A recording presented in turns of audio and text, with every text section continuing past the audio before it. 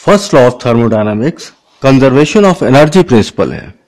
इसमें अगर किसी सिस्टम को डेल्टा क्यू हीट सप्लाई की जा रही है सिस्टम डेल्टा डब्ल्यू वर्क कर रहा है और change in internal energy D U है तो हम लिख सकते हैं delta Q is equal to delta W plus D U यहाँ पर delta Q heat supplied to this system delta W work done by the system and D U change in internal energy of the system यहाँ पर अगर system को heat supply की जा रही है तो हम पॉजिटिव लेंगे।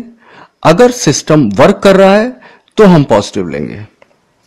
केमिस्ट्री में थोड़ा डिफरेंट कन्वेंशन है। यहाँ delta Q heat supply to the system है। Delta W work done on the system है। तो इस हिसाब से फ़र्स्ट लॉ हम लिख सकते हैं। Delta Q plus delta W is equal to D U यहाँ याद रखिए when work is done on the system it is taken positive otherwise negative